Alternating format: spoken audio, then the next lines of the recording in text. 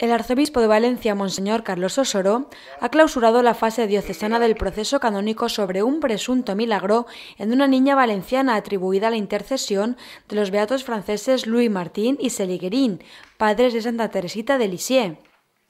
En el proceso remitido a Roma sobre la curación científicamente inexplicable han testificado 18 personas, entre ellas ocho médicos valencianos, según se ha hecho constar en la clausura de la causa que ha tenido lugar en el Palacio Arzobispal, y en la que han participado dos obispos franceses, además de los padres de la niña valenciana, entre otros familiares.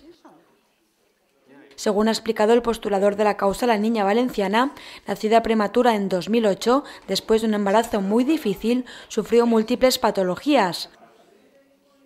Los padres de la niña, viendo el peligro quad mortem, se volvieron inmediatamente a Dios y a la Virgen, y gracias a la intervención del monasterio de las Carmelitas Descalzas de Serra, los padres, la familia y los amigos empezaron una novena de oración a los beatos esposos Martín.